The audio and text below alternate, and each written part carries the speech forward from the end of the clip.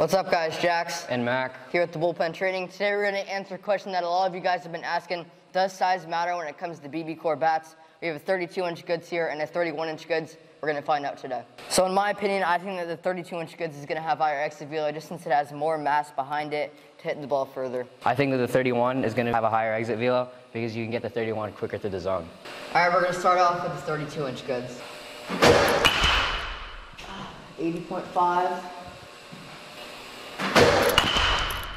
Oh, yeah. It's got some distance there. 285. All right.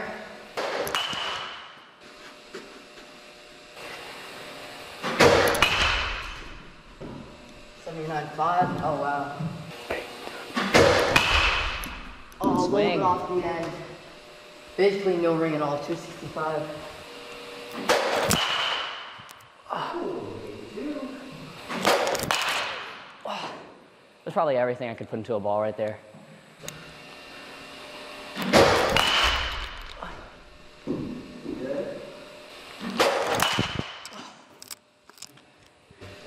All right, now we're gonna swing the 31 inch. Swing, Jax. That was a routine fly out. 274. Oh, just got under it. It's still a good barrel. 274. Yeah. Good barrel. I will say though, yeah, when you when you get up to 31, you gotta get used to getting that barrel in the zone quicker. So I gotta sit on it.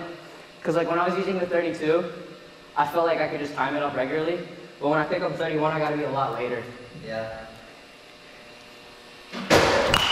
Yeah, like that. That was off hands. I still didn't feel anything. All right.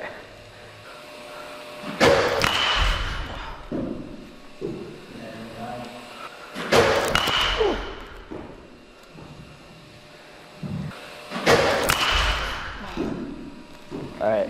One more.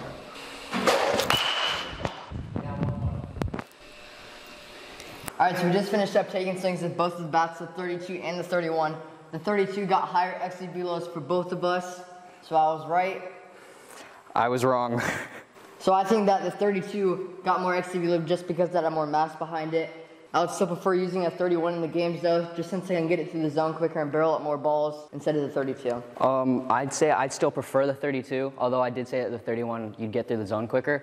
Um, I'm more used to you swinging a 32 anyways, but um, I'd say Jax won the battle in this one. As always, big shout out to Headbanger Sports hooking us up with all these bats through these reviews for you guys. Big shout out to Matt coming out here to do this review with us.